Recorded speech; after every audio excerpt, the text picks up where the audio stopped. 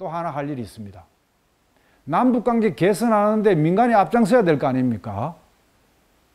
자, 문재인 정부한테 총선 끝나고 일단 총선을 먼저 이겨야 되겠죠? 이긴 다음에 자, 총선 이겼으니까 이제 남은 임기 평화번영 통일 약속한 대로 판문점 선언, 9월 평양 공동선언 합의 실천하라고 견인을 하고 그 다음에 올해도 4.27 판문점 선언, 6.15 공동선언, 8.15 광복절, 9.19 공동성명, 14선언, 10월 10일 북쪽에 이제 조선노동당 지금 몇 년입니까? 45년도니까 75년이죠. 계기별 남북 공동행사를 추진을 해야 됩니다. 북쪽이 정부 당국자만이 아니라 민간까지도 대화를 지금 차단하고 있죠. 왜?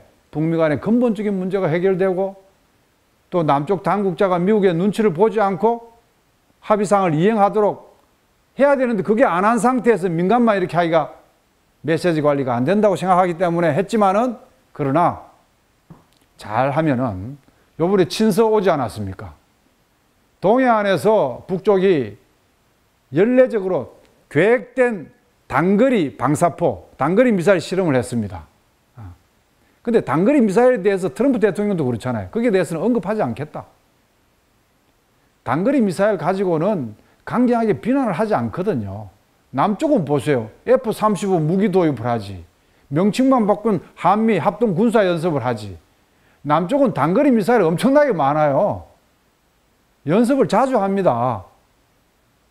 그거 가지고 북쪽이 비난하고 북쪽이 그 실험하고 우리가 비난하면은 긴장밖에 더 높아지겠습니까? 그러다 보니까 김여정이가 그칠게 또 비난을 하고 그러니까 이걸 딱 덮고 전환을 하기 위해서 코로나 친서가 왔죠. 문재인 대통령이 답신을 보냈습니다. 이게 좋은 신호라고 봅니다. 이럴 때 코로나 남북 협력부터 시작해서 평화 협력의 문을 활짝 열어 제끼면 원래 남쪽 통일부에서 개별 관광이라는 표현으로 북쪽 관광을 하겠다고 했습니다만은 그것도 쉽지는 않죠. 어. 예를 들어서 개별 관광이라는 게 그런 겁니다. 광화문에서 버스를 타고 개성 관광을 가는 거예요. 가가지고 요금을 북쪽 당국자한테 직접 주는 겁니다.